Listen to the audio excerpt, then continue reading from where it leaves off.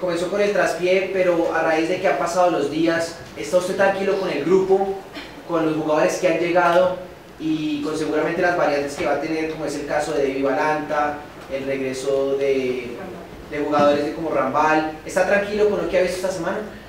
Estamos tranquilos, no buenos días, estamos tranquilos pero preocupados porque no podemos empezar de esa manera.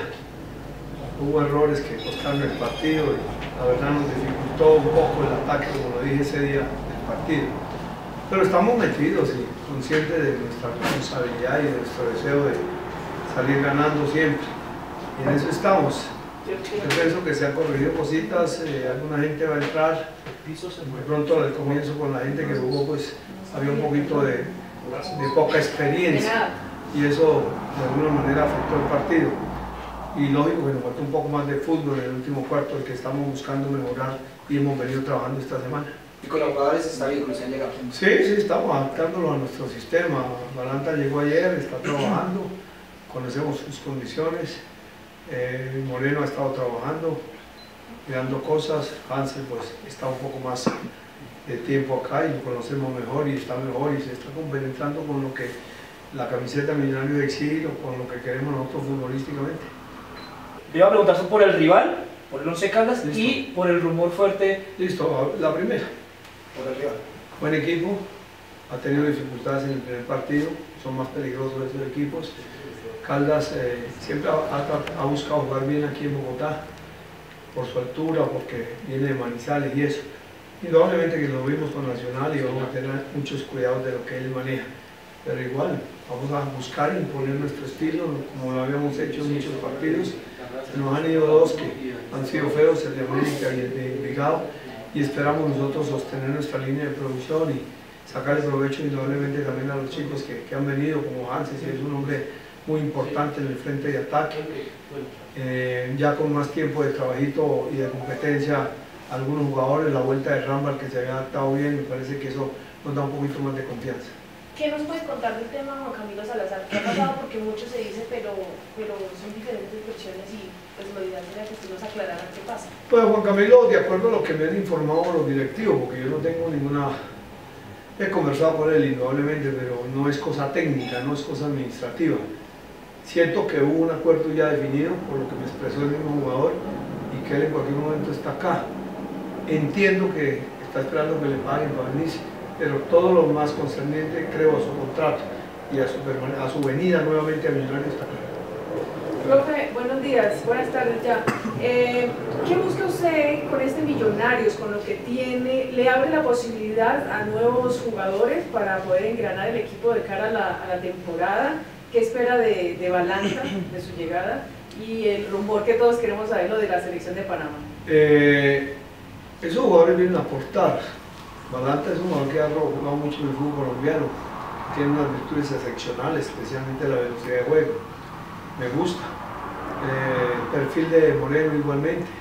Es lógico que hay que adaptarnos a la exigencia y a, los comportamientos de, de lo que hacen Millonarios, que de pronto es un poco diferente a algunos equipos. Entonces hay que adaptarnos a ese trabajo.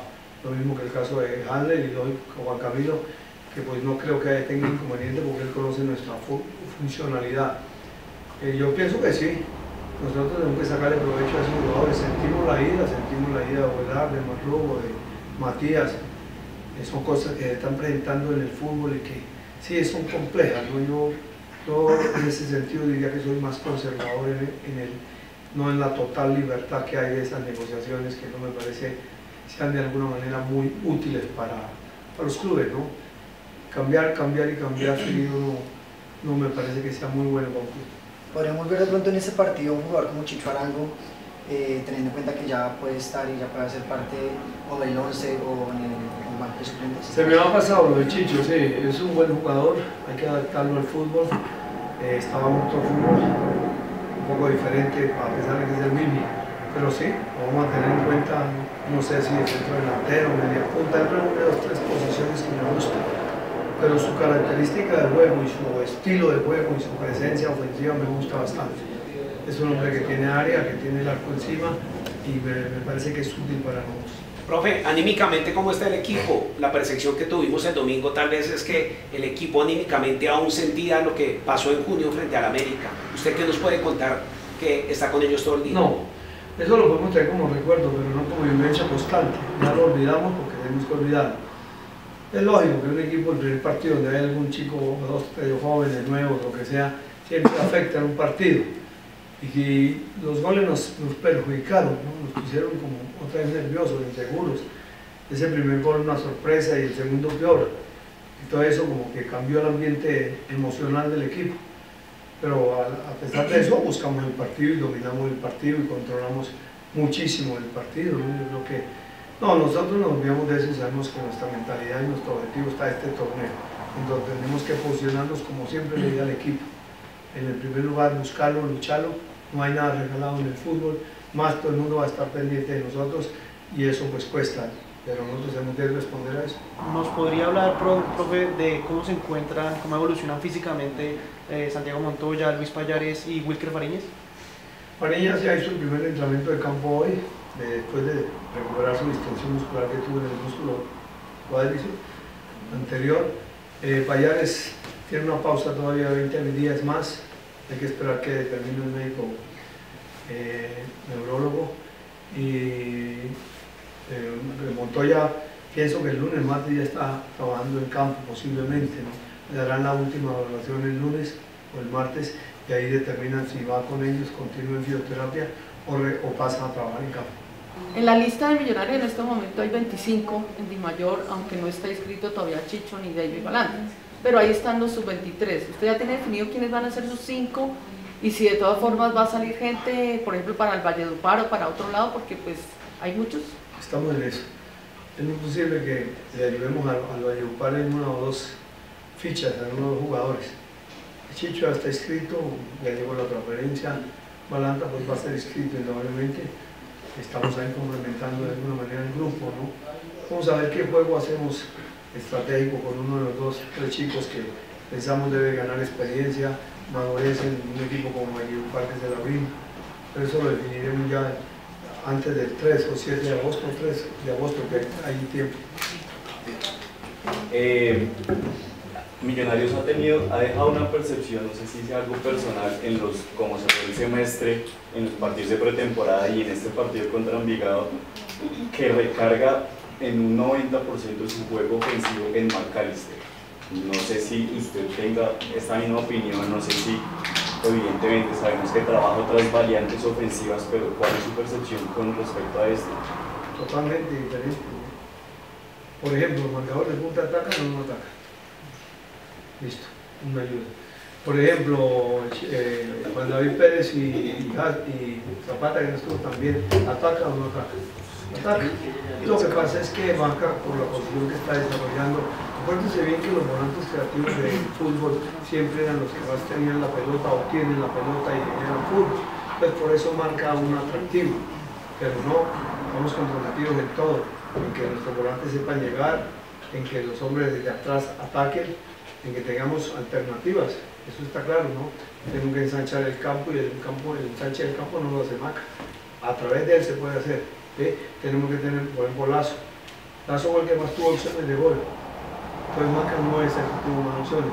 Me hubiera gustado que también las tuviera, pero no. Pues todo ese ataque está compartido en, en funciones y en cosas, no, no es de Maca. Que él se torne importante y que vea que es un jugador que es clase con la pelota, sí, eso no hay duda. Usted ha expresado eh, una preocupación sobre la tenencia del balón. Esta semana, ¿cómo lo ha trabajado para enfrentar un equipo como el Once? Mucho lo hemos trabajado, ¿no? reflexionando cosas, mirando el momento del manejo de la pelota, que es una de las eh, premisas que tiene Millonarios, jugar bien con la pelota y tener el poder de la pelota. Lo hemos trabajado intensamente, porque me parece que, sobre todo en ciertos espacios donde ha costado, y eso lo hemos venido trabajando casi muy específicamente. Todos los entrenamientos de Millonarios hoy, todos, absolutamente, desde el calentamiento, son con la pelota. ¿Qué opinión tiene acerca del juego de José Luis Moreno y cómo se encuentra este jugador tras el golpe en su mano? El golpe fue un 15 bravo, me preocupó mucho en el momento que lo vi, pero no. Lo han tratado bien y le han condicionado eso. Bien, es un perfil que se necesitaba y que a veces es difícil de encontrar. eh, siento un poquito de vacío futbolístico en él, en que le falta continuidad y ritmo, ¿no? Que se lo vamos dando. Profe Felipe Molina del Diario AS, ya con más semanas de trabajo, ¿qué refuerzo lo ha sorprendido? Pues los tres me han gustado porque si los traen como por eso, que vengan a hacer las cosas mejor. Bien, están trabajando bien. Zapata es un hombre de una gran improvisación. La velocidad de, de Balanta es extraordinaria en un buen centro. Me hizo recordar a Alexis Mendoza y a, el del Milan. ¿Sí? ¿Cómo llama? Maresi. No, Maresi. No, era Lentini. Maresi. No Lentini, el otro que jugó en la selección Italia. Y entonces eh, me gusta, pues les repito, el perfil de, de, Moreno pues es un perfil complejo para manejar el sistema zonal, que a Pacho siempre le preguntaron ¿por qué un zurdo? Yo, no sé, pero necesita un zurdo ahí. ¿eh? Entonces son cosas que uno va mirando. Estamos contentos, ojalá que podamos sacarle más provecho a ellos. La última que... Eh, buenas tardes, profesor. Eh, Magda Mora de Mundomillos. El semestre pasado, en varias ocasiones, el profe nos decía que su meta era, pues aparte de ser campeón, hacer 50 puntos para este semestre. ¿Cuál es su visión acerca del puntaje y de los eh, resultados deportivos de Millonarios? Lo mismo, buscar el primer lugar y hacer 50 puntos. Ese es nuestro objetivo. Eso es lo que soñamos, porque es el mismo, el mismo modelo de competencia. Entonces tendremos que darle con todo ese promedio de puntos. En cuanto al delantero que están buscando, ¿todavía lo consideran como prioridad o podría ser que la nómina se quedara así? Estamos valorando cosas dentro del plantel y fuera del plantel. Eso no quiere decir que no estemos mirando alternativas, o estamos mirando alternativas. Ya vamos a mirar la determinación total, viene, no viene, si se necesita, lo que sea. Pero estamos en eso. Sí, profe, eh, teniendo en cuenta que hay la necesidad de ganar porque es el segundo juego en casa y demás, ¿Qué variantes? ¿Qué piensa para el partido del domingo? Si ya va a regresar eh, Rambal y, si tiene pensado algunas otras variantes pensando precisamente en la necesidad de ganar. Sí, Rambal juega. Los demás no sé quiénes sean, pero Rambal juega. Entonces creo que es una variante importante. Vamos a ver a quién lo acompaña y lógico la base del equipo. Pues, en momentos de estos no hay que desbaratar lo que hay armado. Tuvimos un percance pero no vamos a desbaratar el carro que venía funcionando bien y todo. Contrario, vamos a darle dos, tres toques y arreglamos la cosa. Profe, ya finalizando para irnos, eh, lo de sí, una pregunta para todos, que es clara sí. y precisa. Sí me llamó el presidente de la Federación de Panamá, el doctor Arias, conversé largo con él, me explicó cosas, le expliqué cosas, de ahí pronto hablamos, miremos, déjeme, déjeme mirar, déjeme pensar. Eh, le agradezco indudablemente al presidente y a Panamá que me han tenido en cuenta ya haremos las cosas en los próximos días con calma, ¿no? hay una determinación, hay que valorar muchas cosas del fútbol, de todos otros aspectos. Pero estoy muy agradecido con el presidente Arias y su cuerpo directivo, con quienes de alguna manera es el mensaje que hayan tenido en cuenta y miraremos, valoraremos cosas. Hay muchos pros muy buenos y hay otros que hay que valorar, pero una definición así ni para un lado ni para el otro. Y es que me voy ya, sí, ya no, no, de ninguna manera.